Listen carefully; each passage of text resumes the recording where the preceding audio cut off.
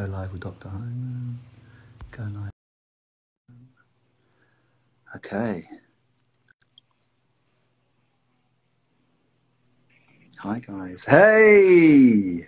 Hey, how's it going? There he is. It's great, man. I'm, I'm so good. I'm so happy to see you. Happy to see you Um, too. Yeah, this is awesome.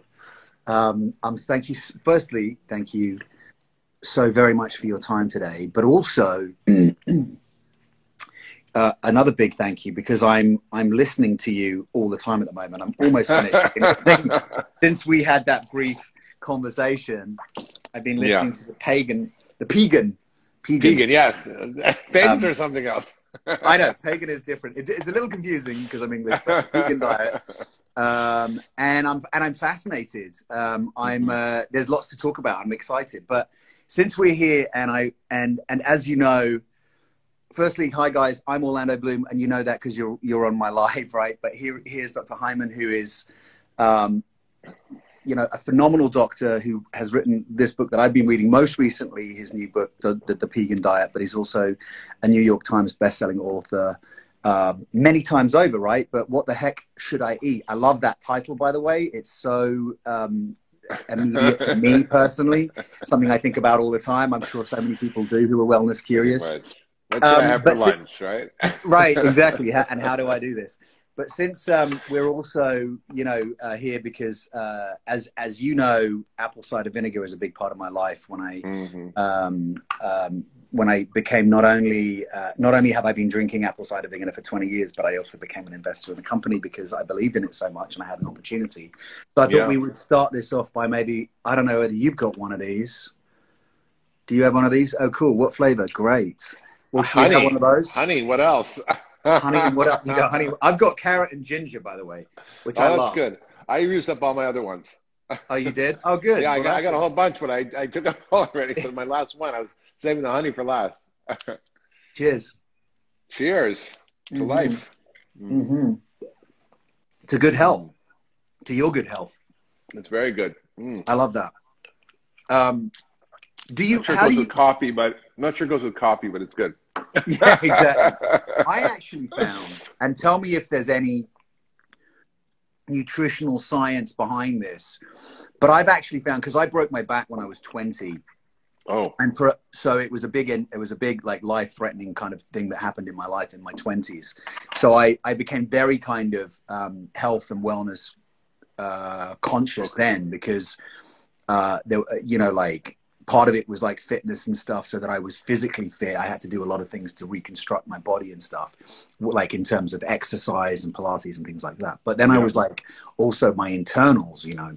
But i found um, you know, like 20 years ago, I started drinking Bragg's in water, but I found that it was almost gave me the same like lift as when I had used to drink coffee. Like I Yeah. would have a shot with a little bit of kind of like with a little bit of honey and a in and lemon in the morning. I'd drink it like a shot.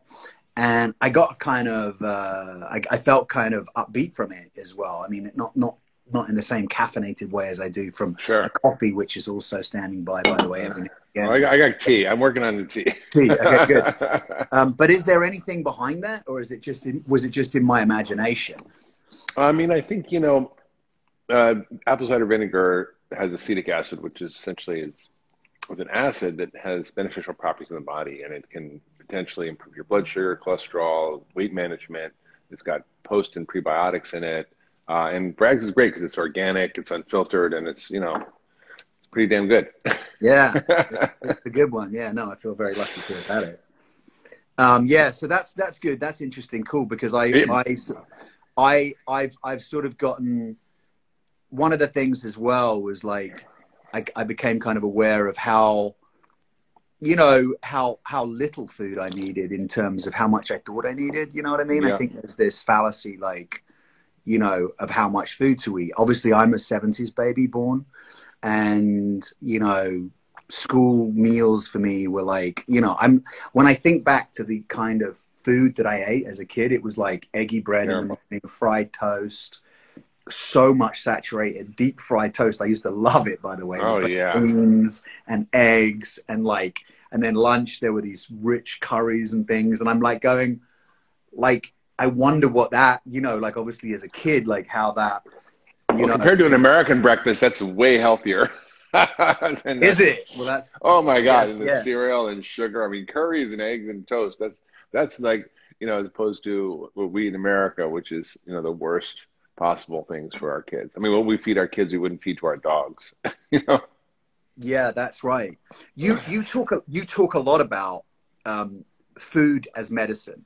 Yeah. I and I'd love you to ex, extrapolate on that a little because I think our people would like to understand that. I um, I've often thought I wanted as an actor and being on set, I wanted food to be a fuel. Like yes. I just was like, I want to eat food that isn't going to make me fall asleep by, after lunch. Because if I've got to do a big scene after lunch, I'm sitting in my trailer, I've eaten, or I'm having breakfast in the morning, and I'm I want to be like alert and on. Yeah, be, yeah. Like that's like, yeah. there's this little window between action, you know, and cut yeah. where if I'm not in, in the zone, yeah, you know. Yeah. So I thought of food as a fuel, but I love when you talk about food as a medicine, and I'd love to. I think my listeners, you know, our, our, audience here would love to hear more about that too, and and I think that ties in personally with like how Bragg's apple cider vinegar for me has helped you know, sort of limit. Like it's, I've, I've found with some of these refresher drinks as well. I found that I kind of drink some of these through the day. I'm going to ask you about how many of these I should and shouldn't drink, if you don't mind, because I like. I don't know if I'm o, o, if you can OD on ACV. Yeah, yeah, yeah. But but, yeah, but yeah. food is food is medicine. What is what is your what is what does that mean to you? And and and and can you you know which I, I obviously I've been listening to the to the pagan dialect it's it's great. So yeah. So you know like this bragg shot has 20 calories but what we were talking about before is that it's not just the calories in there that's having the benefit. It's actually the information in the food. So there's minerals and postbiotics and prebiotics and right. and and things that help regulate your biology. So every single bite of food you take is both fuel and it can be good fuel or bad fuel, right? It can be dirty, dirty fuel, which or it can be really clean fuel. Um, and in addition to the fuel aspect, it's it's actually giving instructions to every single cell and organ and system in your body in real time. It regulates your immune system, your digestive system, your gut microbiome, your ability to make energy in your cells, your detox system, your hormones, your brain chemistry, what you're made of. Every single bite of food is what you're made of. And the information there has the ability to change all of your biology in real time. So it can do it for good or bad. And we see that, you know, bad food kills 11 million people a year. I think that's an underestimate. Um, that's the number one killer in the world today is diet.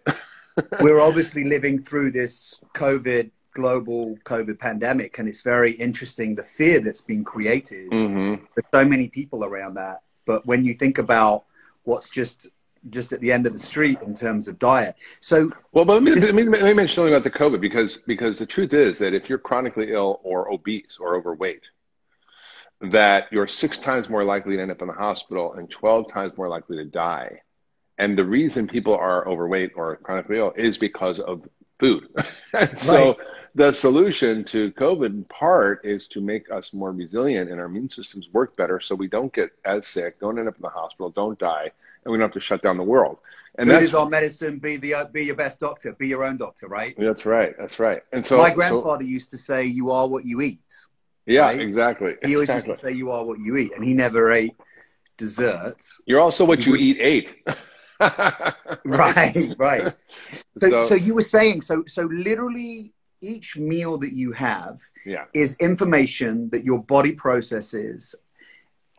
Yeah. Can you you can so so obviously everything you're eating is is having an impact on your mental, your physical, your emotional. Absolutely, absolutely. I just right. got the most incredible email yesterday from someone who was the owner of a big fast food company, believe it or not, and I gave a talk to him years ago, and he said he followed the advice, and he said he noticed total transformation. Not only his physical health, he lost 100 pounds, but he noticed his mental health, his mood, his emotional regulation, all that completely changed. So mental health and food are to- totally tied into one another, and we know this from the data that if uh, you look at clinical trials and experiments where they swap out junk food and they give them healthy food for people with depression, it works better than medication. If you take kids who are having behavioral issues in juvenile detention centers, you swap out the junk food for healthy food, there's a 91% reduction in violent behavior. I mean, even a 100% reduction in suicides. And in this group, suicide's the third leading cause of death. I mean, imagine if there was a drug that could reduce suicides by 100%.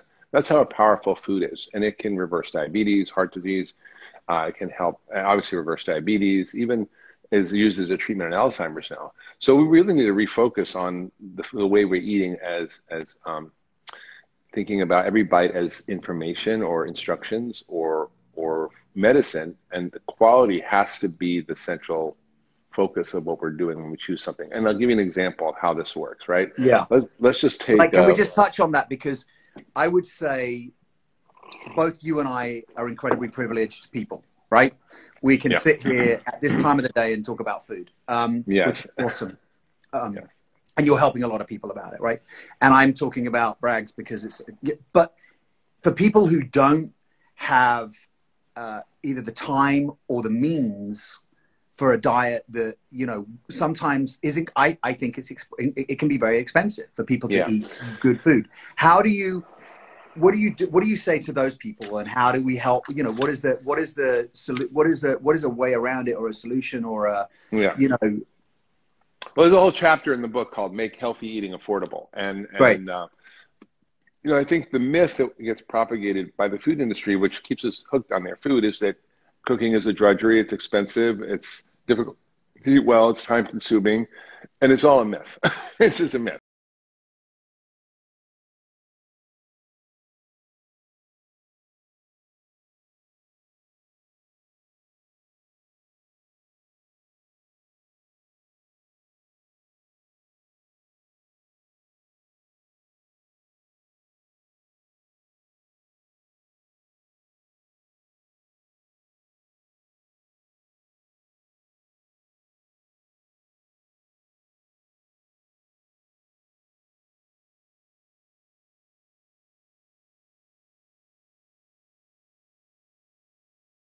And rather than giving them a lecture, I said, let's just use this guide from the Environmental Working Group, which is good food on a tight budget, how to eat well for you, the planet, and the wallet.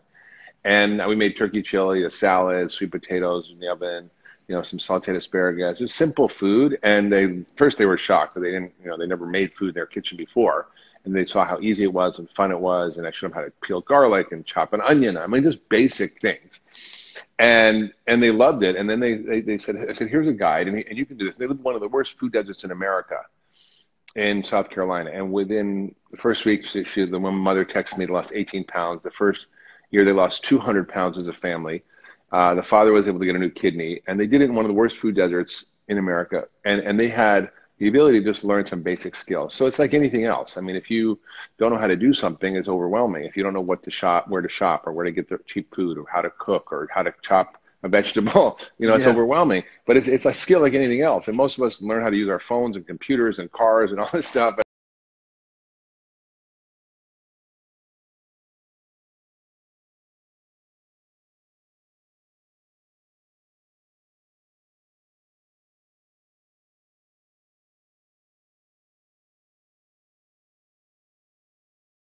Because of COVID. So that's I think that's a silver lining. But they're tending toward eating more junk food and pastries and sugar, which is really bad during COVID. You want to basically focus on on promoting your immune system strength and this by cutting out all the crap and cutting out the sugar and the processed foods and eating more fruits and vegetables and whole foods. It's, it's the obvious stuff. Yeah.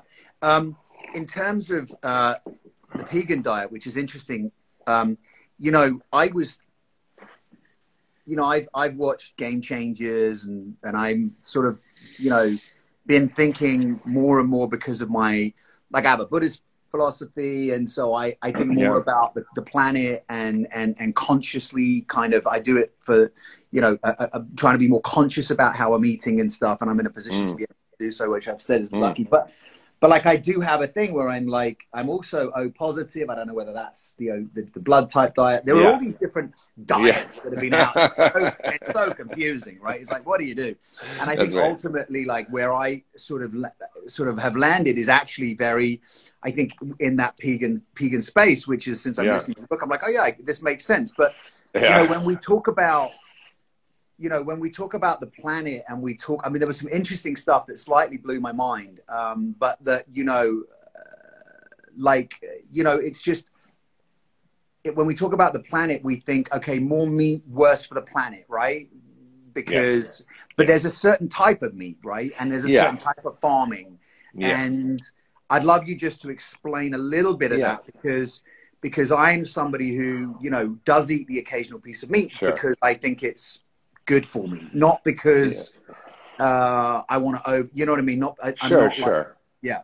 Yeah, I mean, there's three big issues around meat. One is moral and ethical, which is going to be your Buddhist Yeah. philosophy. Two is environmental and climate, and three is Yeah. health. And they all Yeah. get kind of smushed together. So Yeah. the moral and ethical, if you are morally opposed, I don't have a problem. I have patients who are Buddhist monks, and I support Great. them to p- pick the right foods. Um, and and and often, you know, um, I think the Dalai Lama eats meat though. Listen, I'm. I, I, he my- loves, I'm- I heard he loves steak. I heard he. I've been practicing Buddhism since I was 16, and it is not about not eating. You know, I had a Yeah. funny conversation with somebody, and it was me. It was it became a memeable event because I said I have a house in England where I have cows in the garden, and I used to look at Oh them. And go. Man, those cows are. So, it became a laughable, memeable joke. on the internet. The internet exploded with it. I thought it was so funny. That's so But funny. actually, because I had this thinking at one point, I was like, I wonder if, like, as, as we were cannibals at one Mhm. time in the, you know, eating one another, I wonder if there'll be a time where it'll be like, can you believe we used to eat animals? Because, Maybe, because maybe, but the, here's here's the truth. You know, the rest, the universe is one big restaurant consuming itself. In other words, right, we, we like if you're growing vegetables, you're you're it's an agricultural act. It's destructive. You're literally, Right. let's say, you have a cabbage patch and you're plowing it under. You might be killing rabbits and moles and mice, and so is it worth a lot. And there's seven billion animals that get killed every year just growing vegetables, right? Seven billion animals, and not only that, but like if you look at organic vegetables, how they're grown is using bone meal and oyster shells and all kinds of animal products right. to grow vegetables. But your Right. but your your broccoli is a carnivore, but your your steak is actually a vegetarian. right. And so we just kind of like think about it. Um, Right. As far as the environmental issues, you're right. I mean, factory farming is an abomination. It's bad for the animals, bad for humans, bad for the planet. Full stop should be banned, and that's it. And it's Yeah. it's a destructive force uh, in many many ways that I could take an hour to unpack. Um, but that doesn't mean that that all animal agriculture is harmful. In fact, according to Project Drawdown, which looked at uh, scientifically based solutions for drawing down carbon out of the environment and reducing climate change, uh, regenerative agriculture was the number one, collectively, the number one solution. And that means using animals as part of an ecosystem restoration strategy where you restore soils and water systems and uh, increase biodiversity and pollinators and reduce use of agrochemicals and fertilizers and pesticides and herbicides, and you grow more nutrient dense food. The animals live in their natural sort of grass feeding habitat. The, the, the land is, is actually restored to its, its, its sort of more original state. And it actually is a very powerful model. In fact, the UN said by converting 2 million of the 5 million degraded hectares of land around the world into agricultural land for grazing, just two of the 5 million, we could stop climate change for 20 years, and it would only cost $300 billion, which sounds like a lot of money, but when you consider the amount of money being thrown around now with COVID, it's like a drop in the bucket. It's not even what. Yeah. they- I mean, Wait, it's, can it's you like just can you just go back on that a second? They said if we did what? if if the UN you know has looks at all Yeah. these issues around climate change, and they said if we took two of the five million acres of land that's been kind of degraded from agriculture and overgrazing, and we used the oh. principles of regenerative agriculture to restore the soil, the soil would suck out the carbon from the atmosphere at such a rate that it would stop climate change for 20 years and allow us to kind of come up with other solutions. And it would cost only 300 million, which is less than the government in the United States spends on diabetes and Medicare. so in a year. So I, I think we, we, we have to sort of acknowledge that. And then there's the health issues, which game changers really challenges. And I think, again, it's not the cow, it's the how. Uh, if you look at studies, for example, of uh, people who eat feedlot beef versus uh, kangaroo meat in Australia, the kangaroo Right. meat reduces inflammation in their body. The feedlot meat will increase inflammation. If you look at grass-fed meats, I talked about um, that are their plants. Their plants have all these medicinal compounds in them. There's 25,000 of these phytochemicals. The animals are eating them. They're chewing on these foods. It's going into their meat. And the studies have shown from Duke and others that these phytochemicals are in grass-finished meats, and they may be as high as levels as you'd see in vegetables. so you're getting like vegetables and meat together. It's kind of a weird concept, but it actually there may be a lot of benefits. And plus, you know, it's one of the highest, most nutrient-dense source of protein. And even if we decided all to be vegan, we, you know, there's so much agricultural land that's not even available to grow anything other than grazing. You know, 40% of agricultural land. So what do you do with that? And and it upcycles animals upcycle things that are are inedible to us and turns them into incredibly nutrient dense food. So I think you know I can go on and on about the studies around meat and health benefits. Of course. I think you know there's there's both sides. And I think we just have to sort of get a sense of what's common sense, what you know, what what what does the science right. say and what does it and not I, say. and I, and I really love what the what the vegan you know what the vegan diet talks about. I mean, in a nutshell, because we've got some audience questions as well that I want Yeah. to ask you, and I know that you, you, you know, we both got things to do, but in a nutshell, if somebody goes, okay, aside buy the Pegan Diet, right? First of all, because the book's great and it's it's awesome. Yeah, I really I love it, and I'm listening to a podcast too. It's so interesting. Oh, Actually, my you. sister's doing your course, which is crazy. Oh yeah. Well, you should listen. You, you should listen to Fred mm-hmm. Provenza's podcast that I did with him. He's a rangeland scientist. I think it's called Fred, who? Fred? What? Fred Provenza. It's called Is Meat Medicine. It's it's really one of the Okay. my favorite podcasts I've done. It's with this guy who studied Great. animals and ecosystems and foraging for 40 years, and he's just got some very interesting insights about it all. I love that. Yeah. Um, so one of the things, so if, if somebody goes, okay, uh, for, for people who either A, aren't going to read the book or don't have the time or whatever, but they say, if, in a nutshell, and they're watching this and you say, okay, what, what's the foundational, what's the, the, the foundational principles of the Pegan diet? What do you do to begin with? What is it? Is it, because I liked your term, I think you said, uh, not plant-based, Plant rich. plant-rich. Yeah. And I like that because Yeah, I've yeah. always used plant based because it's been thrown around everywhere. But like yeah, yeah. plant rich, Yeah. but what does that mean? And do you do you eat? Because I eat a, I eat a lot of plants. I eat a lot of um, plant meats, um, and um, like I said, I'm very like like less on the animal products, and I have a little bit of fish, but because I feel you know you know I like to work. I just you know. But what is the to work out. yeah from working out and stuff what is the in a, in a nutshell if you if somebody said to you okay i'm going to try this vegan the vegan diet what is yeah, that Yeah. it, what would a Okay, day what are the principles? Yeah, so it's it's pretty Yeah. simple, you know, uh, and it, and again, it's it's it's based on science and combining with common sense, and it's inclusive, not exclusive. So Right. first is is understanding that food is medicine. Focus on quality. has to be real food. And I always joke and say, you know, ask yourself a question when you're going to eat something: Did God make this, or did man make it? Right? Did God make a Twinkie? No. Did He make an avocado? Yeah. It's pretty pretty easy, and he, even a you know three year old could figure that out. and and then the second thing is uh, get rid of all the processed food in your diet. There's no reason we should be eating industrial processed food, refined sugars, refined flours, uh, additives. We eat five pounds of additives a year, chemicals. I mean, just they should just be gone. it's so addictive it's Yeah, so unbelievably addictive It's designed to be addictive. It's designed, to make yeah, you want yeah. more right yeah And the next thing is, you know, make sure you you pile up your plate with vegetables. So 75% of your plate should be veggies. And and I make two or three or four side dishes of veggies and a small piece of protein. you you talked in the in the book about um, different colors of vegetables yeah. They- i've been told at different times and i've kind of noticed like for example nightshades or bell peppers right which Yeah, are lovely yeah. colors yeah. but what is the thinking on that like Well, nightshades bell yeah. I mean, some people some people are reactive to nightshades, which is like peppers, potatoes, eggplant. Right. You know, um, but it's a small set of people, so I don't worry about that for most people. If you have arthritis, you might want to try a little trial. But mostly, the colors in plants are all the beneficial compounds and medicines, the phytochemicals, which are using our bodies using to stay healthy. Um, so you want to eat a lot of colors. So eat the rainbow. You want to eat lots of good fats, olive oil, avocados, nuts and seeds. You want to eat um, if you're going to eat animal protein, you want to make sure you're picking it from the right source. So you can buy regeneratively raised beef now direct from the ranchers at less per pound per serving than you can get a McDonald's hamburger. So you might have to do a little homework and research, but there's ways to get access to it and think about what you're eating that you're eating more like a regenitarian. How do you regenerate your own health and planetary health? And and um, also sugar and, and treats are not uh, you know eliminated, but they're thought of as a recreational drug, right? So sh- you might like to drink tequila, but you're not having it breakfast, lunch, and dinner. That's a question I wanted to ask. Oh, well, it's going to come up about alcohol. We'll talk about that in a minute.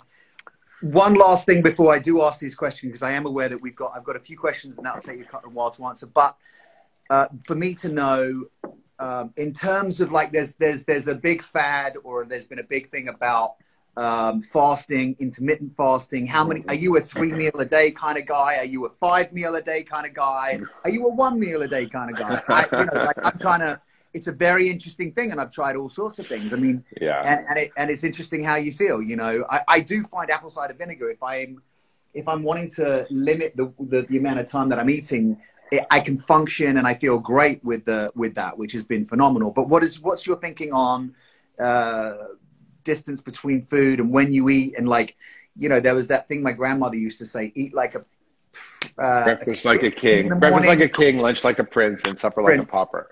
right, something like that. So, Yeah. um, what's your thinking on that? Well, I think I think you know the first principle of the Pegan diet is food is medicine. The second is it's personalization. So it depends on what works for you. Um, there are some people who do really well with time restricted. I think that's an interesting point, right? Everybody is different. everybody's some different. Right. I mean, if, if you're like a, a skinny, you know, you know, 85 year old woman who you know is trying to put on weight, doing you know fast is probably not a good idea, right? If you're pregnant, it's not a good idea. If you're a little kid, probably not a good idea. like if you're you know d- different health issues, it may not be an issue that you should focus on. So what I what I think is that everybody should do what I call time restricted eating every single day, which means eating breakfast. In other words, we call it breaking the fast, right? So if you eat dinner at six and you have breakfast at eight, that's a 14 hour fast. If you eat dinner at eight and eat breakfast at eight, that's a 12 hour fast. We should not be eating before bed. That is the key. That is really key because our body needs to heal, repair, and rejuvenate. So anybody can do an 12 hour fast. It's not that hard.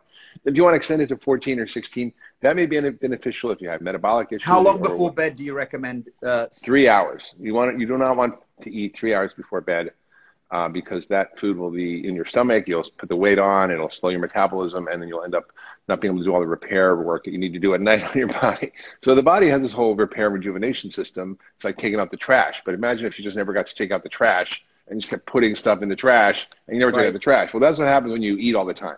So I, I really encourage people to go for periods where they, they take a break from eating. And you can do a day long fast. You can do a three day fast. You can do, you know, 12 hour fast, 14, 16. Those are all fine. And they all have the same benefits like ketogenic diets, fasting looking diets. They all help to, you know, take out the garbage. They help to improve your metabolism, reduce inflammation. um, so that idea that there's a certain amount of calories that you just need to consume in a day, it doesn't matter how you just want to don't go beyond it and sort of eat just within that window. Is that is that right? Uh, yes and no. I mean, calories are something I don't focus on at all. Right. Right. What is a calorie? Like, is it a It calorie? depends from on whether you're getting it soda. healthy or unhealthy. Right. Right. And if you eat the right foods, it's hard to overdo the calories. And even if you overdo certain calories, different calories have different effects. So they've done studies where they looked at exact same calories on a very low carbohydrate, high fat diet versus a low uh, fat, high carbohydrate diet, but healthy, right? Same calories. If Right. people are on the low fat diet, they burn 400 calories less a day. That's like running an hour. If you're eating a high fat diet, you literally burn 400 calories more a day. Wow. Like that's like going jogging for an hour without doing anything different. And that's because different macronutrients have different effects on your metabolism. And, Right. and it's not just that's that's what I'm saying is calorie is not a calorie is not a calorie. It depends on where it comes from. Like 500 calories of broccoli is not the same as 500 calories of Coca-Cola, right? Right. They're just they're just different. And in, in traditional medicine and nutrition science, they're considered to be identical. As long as you don't go over your calorie limit, it's fine. But that's just nonsense because food is more than just calories. Like we said at the beginning, it's medicine, it's information. Right. So I have a question from at Rosebud uh, one one one seven. She's asking, is it true there is a proper way to eat fruits, i.e., on an empty stomach or without other foods? Mm-hmm. And then the second half of that question is, does improper food combining, i.e., carbs and proteins, hinder the absorption of nutrients? I think that's a really interesting question. Yeah, Fruits. I mean, listen, listen. it's It's a hierarchy of priorities, right? So the Right. first thing is eat real food, whenever you can eat it, wherever you can get it, and cut out the crap. And that's like, if people just focus on that, that's like enough. And then we get into the nuances. Well, when do you eat what? And it turns out that timing matters. And there's this new uh, devices that people are using called continuous glucose monitor. And, and you can actually see the effect of when you eat on your blood sugar. So if you eat fruit or some starch or alcohol or anything at the beginning of a meal, it's going to have a worse impact on your blood sugar than if you eat it during or after a meal because you're going to blunt the spike in your blood sugar. So actually, the best time to eat fruit, I think, from a metabolic perspective, is after you after you have a meal. Uh, let's say a dessert, for example. Now, people say you shouldn't combine fruit and food, or you shouldn't combine this and that. I, I- think that gets so confusing and complicated for people. It's just, it's such a. I don't think it's That's interesting because I'd always sort of had this idea from somewhere that if I had fruit after a meal, it just sits and ferments on top. It's not really. That's not I doubt it. Your body knows what to do. Right. you, know? You think as a hunter gatherer, you go, oh wait, I'm, I'm going to find these roots and things, and oh, and now I eat these berries, so I'm going to save these till later. you just eat everything. Your body knows what to do. And I Right. think I think if, if you pay attention and you say, "Gee, I don't feel good after I do this," then that's feedback. But everybody's Right. different. So I wouldn't. I, I would say, don't let your dogma run over your biology or your ideology run and over then your and then biology. and then combining foods. So like you know there was a hay diet years ago. Yeah, yeah. Like don't mix carb. You know what's what is that combined Who knows, right? Just I think there's food Balance. combining ideas, and I think that you know they're they're quasi scientific. I don't think there's a lot of data behind them, and got and again, it's it's it's it's an overcomplication of uh, of things that is unnecessary, given that people aren't even doing the most simple things, which is choosing the right food and picking quality and eating real food. I mean, that's like a hierarchy of priorities. So uh, I think we touched on this. Uh, blue zones around the world still eat animal products. How can we find that balance? I think, in a Well, I- nutshell, I talk about it as condi-meat, right? It's a side dish. It's not the main dish, right? So, uh, and like I said, well, I have something, but it's not the main focus. And you should, you don't need that much. You know, maybe a palm-sized piece of protein. Here in America, we have this giant piece of meat in the plate, three asparagus and maybe a potato. It should be the other way around. We should have like, you know, four dishes of vegetables. Like we had mushrooms and greens and salad and maybe a sweet potatoes and then maybe a small piece of fish or chicken or meat that's grass is that like a six ounce steak as opposed to a twelve ounce steak? Exactly, exactly, Right. and even four to six ounces. It doesn't even have to be that much, right? And depending on your size. It, the, the rule is it should be the size of your palm. So if you're a little kid, it's a tiny palm. If you're a big Shaquille O'Neal dude, it's like a big, big, maybe a 12 Right. ounce steak. Um, okay, so how do I? Uh, a Schmidt, I'm can't get. I'm. I'm gonna. A asks. At A asks, how can I uh, increase vitamin D intake while being sensitive to a history of skin cancer, i.e., without physical uh, sun exposure? So, how do I increase my vitamin E D? D. Well, there's D. there's some there's some food sources, right? Fatty fish like herring and mackerel, uh, Mhm. and also some mushrooms like porcini mushrooms contain vitamin D. Although you have to eat a lot of those. Um, sunlight obviously is good. If you if you're worried about skin cancer, I understand, but you can always take a vitamin D supplement. And I think most of us, given the fact that we work and live inside, probably need a vitamin D supplement every day. And and uh, 80% are deficient or insufficient. And and we know from the data with COVID that if you're if you're low, you're you're more likely to be um, getting sick and in the hospital. Um, if you have adequate vitamin D levels when you enter the hospital, some of the data showed you're 94% less likely to get in the ICU and die, which is better than a vaccine. so, and it's pennies a day, and there's no downside risk unless you overdose, which is hard to do. Right. Um, okay, this was about alcohol, which I think is interesting. So, uh, Michael Diaz Nielsen one asks alcohol on overall health and how much is too much? Is there an okay amount? I mean, listen, we're in COVID. I think that's a pretty good question, to be honest, when people have been like, yeah. Yeah. Well, you know, people have been, you know, I mean, in some countries they shut the al- the alcohol uh, stores, they shut the liquor stores. Interesting. some countries, yeah. yeah, because I think people were kind of going crazy, and I think in this country we have, and if there's been way more drug overdoses, more alcoholism, Right. that, that- that's really tragic. It's, uh, Um, it's the, awful. tr- the truth is that you know, is there a safe amount of alcohol? Um, it really depends on your overall health and well-being. But I think you know, for most people, a glass a day or every you know couple of days is probably okay. Um, but again, you know, we're consuming in this country often a lot more. So you have starting to have two glasses a day, or three, or three beers, or two beers. It, it, it does have an impact on your microbiome. It has an impact on your brain health. It depletes nutrients. It's hard on your liver. I mean, it's a poison, right? So the dose makes the poison, just like sugar. You know, if you eat, you know, a teaspoon or three, four teaspoons of sugar as part of a dessert, it's not going to kill you. But if you're having 34 teaspoons of sugar every day, day in, day out, it's going to kill you. Same thing with alcohol. So I think, you know, figure out what works for you. But for most people, um, you know, don't realize that it does have a negative impact on us. Yeah, yeah, of course. Less is more, probably. Shell.mcn says, asks, I'm following the Pegan diet, but I need to bulk up more. What can I do? Protein, uh, bulk up muscle wise, I'm sure you mean. Uh, and I think, you know, protein Yeah. is the key thing for muscle synthesis. And uh, what we need is something called branched chain amino acids to activate the, the basically the, mach- the machinery, the, the factory that makes muscle. Muscles. Uh, and those branched chain amino acids are very low in plant proteins. So if you're doing, if you're vegan and eating plant proteins, you're going to not have as much muscle mass. However, if you jack that way up, so you can you can accommodate it by actually increasing the amount of protein in plant protein, which the only way to do that is by protein shake. So you're having to eat some kind of processed shake. The second thing is you can always add amino acids. Um, but for Do most you people, use a, in your protein shakes? Do you recommend a whey or a or Yeah, a well, whey- whey- yeah, whey- or- yeah, there's there's different protein shakes. Some are some are plant based proteins that have jacked up amino acid levels. In What them. do you think So- about the plant-based protein powders? I think they're okay, but again, they're often low in some of these essential amino acids that that are required for muscle synthesis. So, they're, like for example, I saw one from Garden of Life that's it's like a sport protein, right? So, but it, but they they have to add extra amino acids that aren't naturally found in the plants. Or you know, there's there's whey protein, which is among the best uh, source of protein. I like the goat whey particularly because I think modern dairy is pretty bad.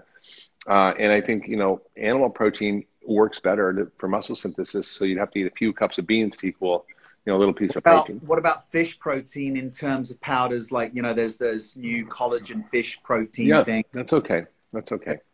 okay. Um, and then at Bal underscore art studio asks, can apple cider vinegar help fungal infections by improving blood pH? And the second half is, can apple cider vinegar heal stomach's cell wall lining or help with gluten intolerance?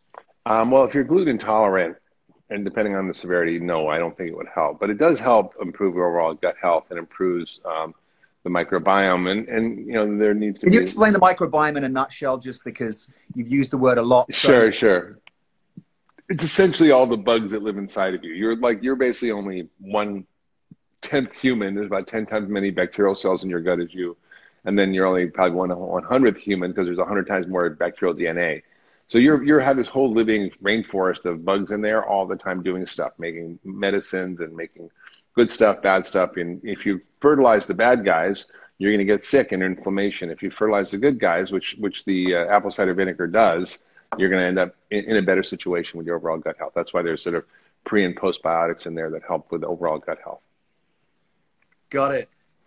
Um, well, um, I've asked I've asked all the audience questions that there are to ask. I feel very grateful to have had time with you today. So thank you so much. Of course, thanks so much, Orlando. It's because been great. um, it's awesome to to learn more and to you know. Uh, can I ask one last thing about apple cider vinegar, just because I would love to know? sure. Because I'm I'm like I'm having like a shot in the morning because it's like at, at that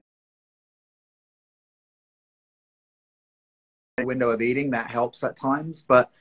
But like I like to drink these, which the, these these Bragg's refreshers, which Yeah, yeah. like basically, I mean they're not like there's the calorie is like there's a there's a little little bit of sugar, but the sugar is in the form of honey um, or monk monk fruit extract. But is there or stevia? But is there is there too much of these that you can have in a day? Is is what's what's what's too much? Because I'm having like three, maybe two or three. And I think each one has different amounts of carbohydrate or yeah, sugar. some right? of them are less. Like there's there's one here which has got like zero sugar, Yeah. one So gram. Of, yeah, which So you is can either drink as many of those as you want, but the sugary ones you probably don't want to, you know, go over, you know, uh, you know, the. I mean, how much sugar is it now? So the acid. let's My question is: is I can drink as many of these as I want because there's no sugar in it, but the the citric or the acid, the, the apple cider vinegar acid acid, acidity is not a negative in terms of. It shouldn't. It shouldn't be. Your body should handle it. But if you notice Right. how you feel and what's going on with your Yeah. digestion, it's like Right. everybody's a little different, Again, right? it comes down to how do you feel and what's it doing for you, right? Right. I drank a kombucha, which is supposed to be really good, but it had something that caused my stomach to get upset. So you know, like you never know. So everybody should pay attention. But most people tolerate it pretty well. Yeah. Um, well, thank you. First, Thank you. No, thank you so much for your time, man. I really appreciate. Of course, of um, course, Orlando. Great to see you. The time. It's great to see you, and um, you know when when it when it's when there's a good opportunity, I'd love to uh, sit down in person. It'd great. Absolutely. Are you in LA? Where are you? Yeah, in LA. Okay. So, All right. uh, I'm coming. I'm coming back there soon. Leaving Hawaii. Good. Okay, great. lucky you. All right. Enjoy I'll hit you up. um, yeah, do it. All right. thanks. Take care. Okay. Bye. Thanks. Bye. Oh, shall I say? Oh, I didn't. Yeah.